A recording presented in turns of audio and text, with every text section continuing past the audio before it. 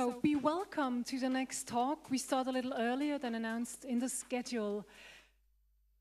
Megacorp is the name of a huge conglomerate you may know from science fiction, but Megacorp is real. It exists actually. Its mission is to acquire all fraudulent and scam companies that populate the internet and even already have tried to scam you. So Megacorp is an umbrella corporation that includes all scam, scam companies and it's a piece of art. So please welcome the two artists, Linda Kronmann and Andreas Zingerle, who will talk you, tell you everything you need to know about Megacorp.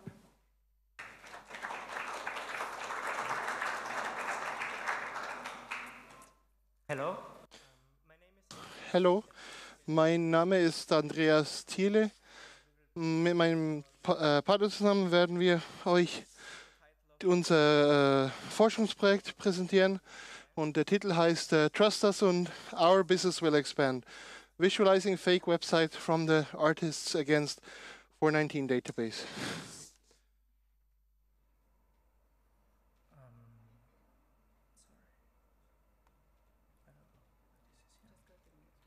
Äh, ja.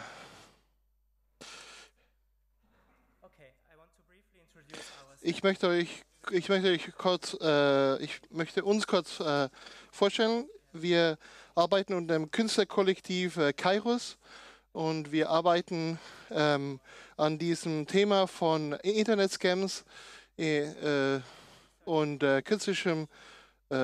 künstlicher Recherche. Und wir arbeiten mit verschiedenen äh, Vigilante Communities, die äh, diese Scams stoppen wollen und diese Praktiken von diesen ähm, Scammers stoppen wollen. Und die eine, die eine Gruppe ist diese äh, Künstler gegen äh, 419, die ihr hier seht. Und wenn ihr diese Webseite äh, anschaut, dann könnt ihr die verschiedenen Links aufmachen, die ihr hier seht. Und diese Links sind ähm, Einträge, die, die äh, als äh, Fake Companies, äh, also äh, und die, die werden momentan von ihren Hosting-Providern angeschaut und wenn sie tatsächlich unlautere Businesses sind, dann werden sie äh, ähm, raus äh, aus dem Internet genommen. Und häufig äh, kann man die tatsächlich innerhalb Stunden aus dem Internet ähm, löschen. Und äh, wir wollen euch jetzt äh, visualisieren, wie, äh, wie das aussieht, wenn diese Firmen so äh, verschwinden. Und wir, wir wollen dieses, dieses, äh, diese Ansammlung von Firmen jetzt quasi visualisieren.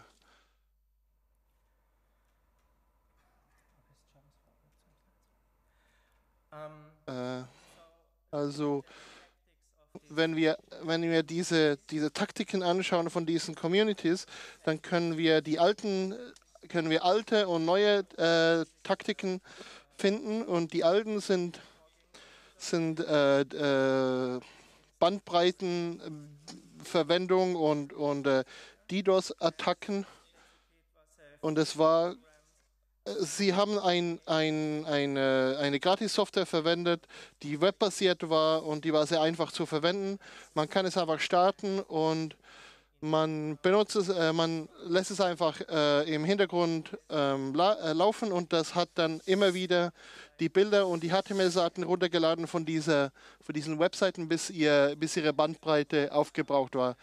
Und wenn die ähm, Webseite ähm, runtergefahren wurde von, dieser, von ihrem Hoster, dann haben die meistens ähm, aufgehört oder äh, sich geweigert, die wei weiter zu hosten oder sie haben äh, nach mehr Geld gefragt, wegen der erhöhten äh, Bandbreite.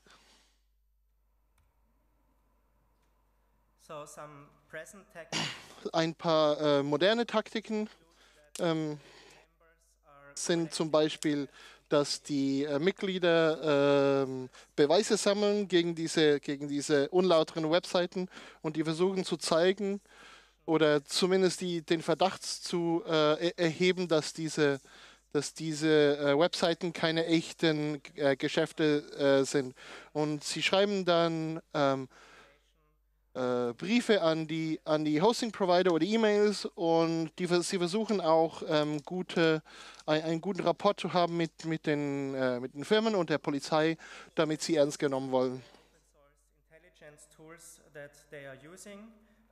Wenn man ein paar von diesen Open Source Tools anschaut, die sie jetzt verwenden, dann ähm, kann, man sehen, kann man sehen, dass sie äh, vergleichen, ob der DNS oder ähm, der, das Impressum quasi anschauen und, und schauen, ob das, ob das stimmt. Und sie schauen im Web, ob es Kopien gibt äh, von dieser Webseite und ob die in, in spezifischen äh, äh, Ländern registriert sind, wo diese Leute herkommen und sie gehen teilweise sogar zu den, zu den echten Adressen, wo diese Firmen ähm, registriert sind. Und es gibt auch andere, es gibt auch andere Werkseite, äh, Werkzeuge, und wir, aber wir wollten uns darauf konzentrieren, ähm, diese Tools anzuschauen, die diese Community äh, effektiv verwendet. So, yeah, uh, I, uh, ja, es, also es, man kann einen Whois Lookup machen, um zu sehen, wem die Domain gehört. Und die Seite wird dir dann den äh, Registrar und, und das Datum sagen, wann es äh, äh, kreiert wurde, wann es nicht mehr ähm, online sein wird. Und eine der wichtigsten ähm, Observationen ist, wie lange diese Webseite bereits äh, registriert ist. Und, und häufig sagen die Members, die Mitglieder, dass wenn die Webseite weniger als ein Jahr aktiv war, aber sie, aber sie, war, sie sagen, sie seien schon viel älter, dann ist das vermutlich schon verdächtig. Und dann müsste man vielleicht schauen, dass man hier weiter äh, dem nachgeht. Und dann natürlich die Kontaktinformation. Was für Arten, auf welche Arten kann man mit den Leuten in Kontakt treten? Haben sie äh, E-Mail-Adressen? die sie, äh, die auf, auf der Top-Level-Domain registriert sind oder, oder ist es eine valide Adresse oder ist es, ist es auf, verschiedenen, auf verschiedenen Listen zu finden? Gibt es, gibt es äh, Telefonnummern, kann man da anrufen und so weiter. Manchmal kann man auch den HTML-Code anschauen, um, um zu schauen, ob die Webseite kopiert wurde von einer anderen Domain Oh, zum Beispiel, das, das ist ein Screenshot von einer äh, österreichischen Firma, die heißt Start Office und die ist in Wien registriert. Aber wenn ihr das HTML anschaut, dann seht ihr, dass die Webseite von einer Domain kopiert wurde. Das ist äh, SunX Solutions ähm, am 19. Oktober. Und diese Firma äh, sieht man, findet man wieder in dieser Datenbank von von den äh, Künstler gegen 419, äh, 419. Sie haben einfach eine Kopie gemacht von einer, von einer anderen ähm, von einer anderen Webseite, die auch unlauter war und haben einfach ein anderes Logo drauf gemacht. Um, a lot of the fake sites can be found by searching for text. Ähm, andere andere äh, Beweise kommen davon, dass äh, gewisse Textschnipsel äh, gesucht werden, die man auf den, auf den originalen Webseiten wiederfindet, wo der Text herkopiert wurde.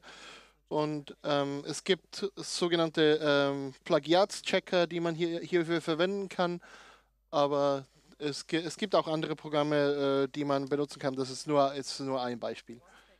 Und als sie, nachdem sie diese, diese Daten äh, zu, gesammelt haben, die zeigen, dass es eine unlautere äh, Firma ist, dann, dann fangen sie an, diese äh, Reports zu, zu äh, registrieren mit den, bei den Behörden und bei der Firma.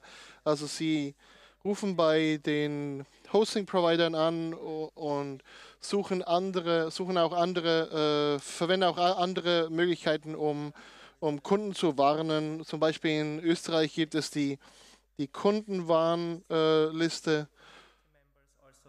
Es gibt auch andere ähm, Mitglieder, die eine, eine äh, andere Webseiten aufsetzen, wie zum Beispiel diese Scam Warner, Warner, Warners, ähm, die auf denen dann diese Webseiten äh, quasi angeprangert werden und Man soll es natürlich auch äh, bei den Artists Against 419 äh, registrieren, damit sie die in die Datenbank aufnehmen können, damit es, äh, damit es, damit, damit man es äh, benutzen kann als, als weitere äh, Gründe, um diese Praktiken zu weiter zu verfolgen.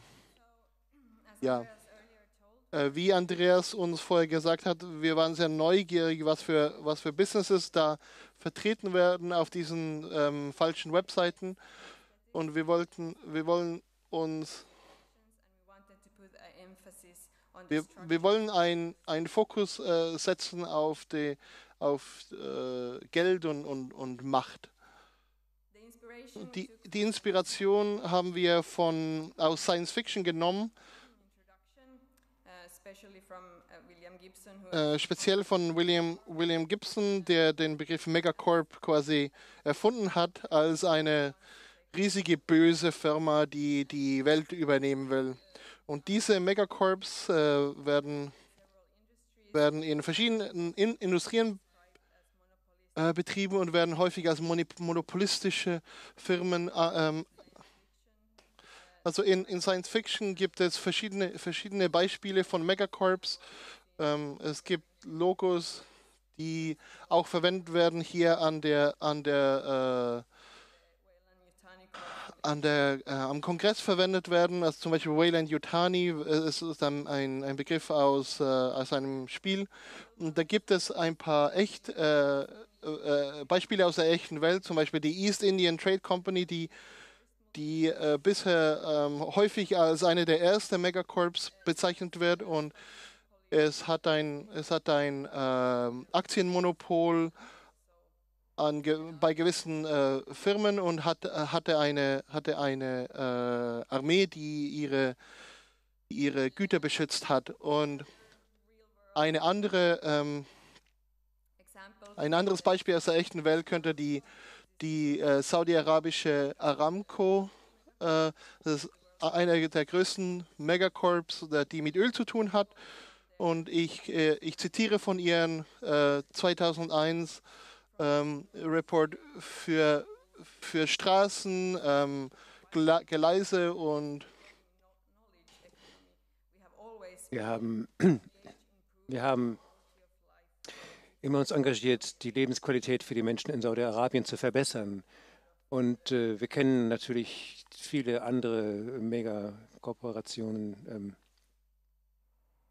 So, this is our Megacorp.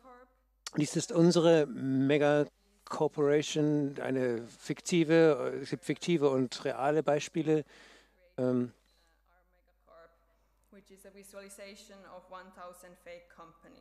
eine Visualisation von 1000 falschen Firmen. Uh, Am Anfang hatten wir eine Herausforderung. Wenn Websites in der Datenbank aufgelistet waren beim Hosting-Provider, dann haben die Hosting-Provider diese Websites geblockt. Wir konnten also jetzt nicht zu diesen Websites zurückgehen, um sie zu analysieren. Die Datenbank speichert nur den Namen der Website und die Whois-Information. Und das hat uns nicht gereicht. Ähm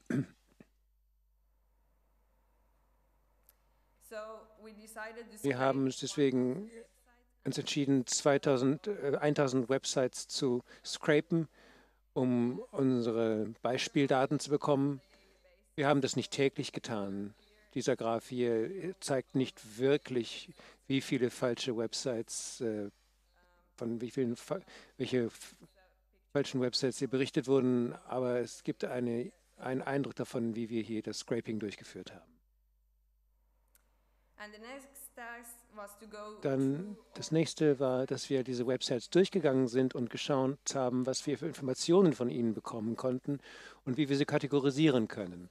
In diesem Prozess haben wir die Firmen kategorisiert anhand von 31 verschiedenen Kategorien, die wir dann auf zehn äh, zusammengeführt haben. Dies sind unsere Geschäftssegmente von Megacorp. Ihr seht hier, dass Verkehr und Logistik, Transport und Logistik die größten sind. Danach kommen Banken, die für Phishing-Attacken benutzt werden. Und offen handelt es sich dabei um Clones von echten Websites. Äh, eine Überraschung vielleicht ist das viertgrößte Segment. Das sind Online-Tiergeschäfte, also Zoogeschäfte und Tiertransporte. Und wir haben auch uns angeschaut, welche Orte als Firmenzentrale, als Sitz der Firmenzentrale behauptet wurden. Die Region London mit 118 Ländern und Großbritannien insgesamt stechen sehr heraus. Und äh, 22 Prozent der Websites haben gar keinen Firmensitz angegeben.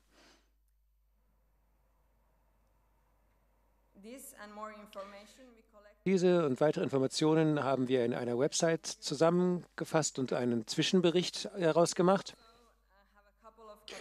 Wir haben außerdem einige Kopien dabei, also kommt bitte und holt ihn euch nach der Präsentation. Wir haben außerdem wir haben Abschnitte nach Geschäftsfeldern, nach Firmensitzen und so weiter.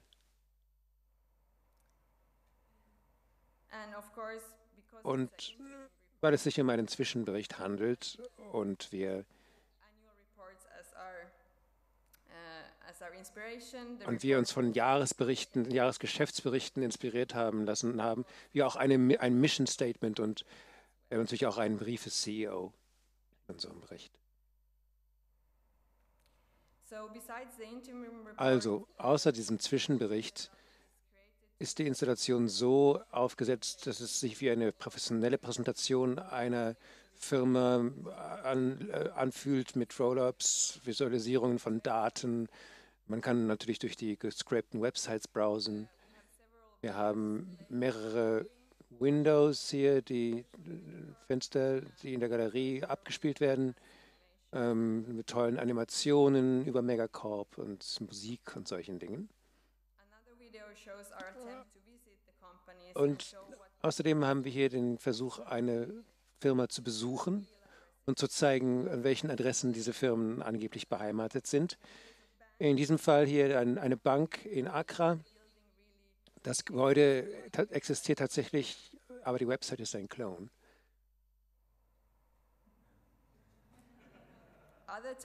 In anderen Fällen kamen wir zu seltsamen Orten, wie zum Beispiel dieses Wohngebiet hier in Glasgow. Dieses Gebäude sollte die Firma einer internationalen Kreditunion sein, offensichtlich eine zufällig gewählte Adresse.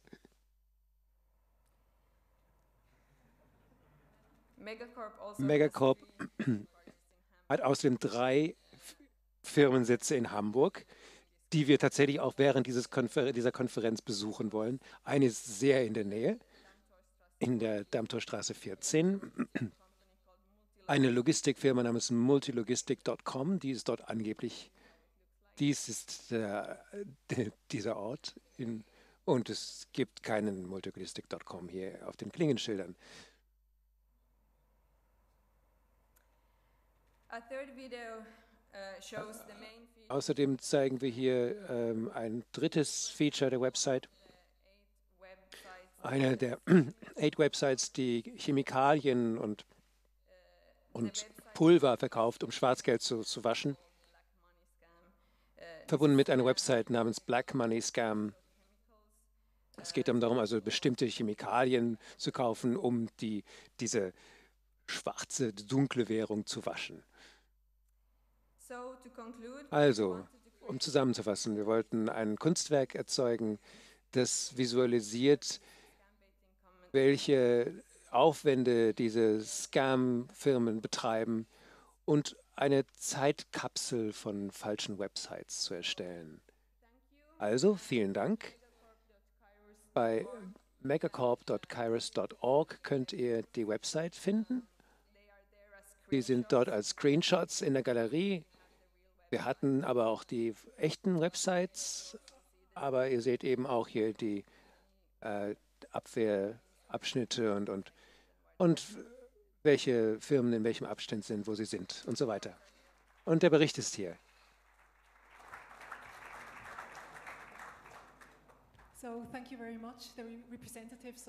Vielen Dank an die Repräsentanten von Megacorp für euren unterhaltsamen Talk. Bitte stellt euch bei den Mikrofonen auf, wenn ihr Fragen habt. Wir haben immer noch zehn Minuten Zeit.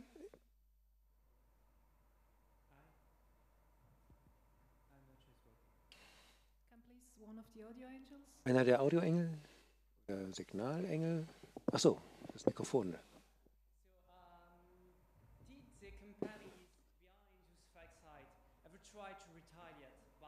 Haben, haben die Firmen hinter diesen Websites jemals versucht, sich zu rächen durch Angriffe oder irgendwas?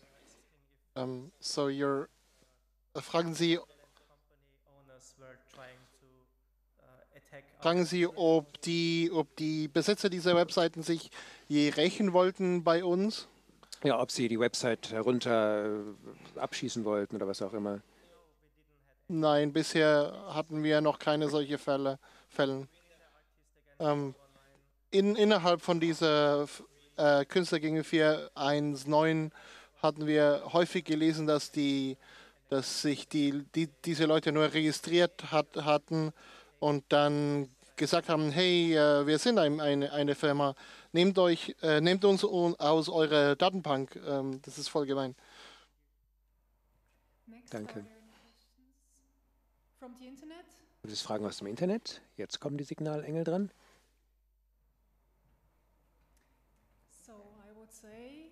Okay, wenn es keine Fragen gibt. Ich ah, glaube, da gibt es noch jemanden. Ah, nein, okay. Dann vielen Dank und bitte einen warmen Applaus für diese Präsentation, für den Talk. Ja.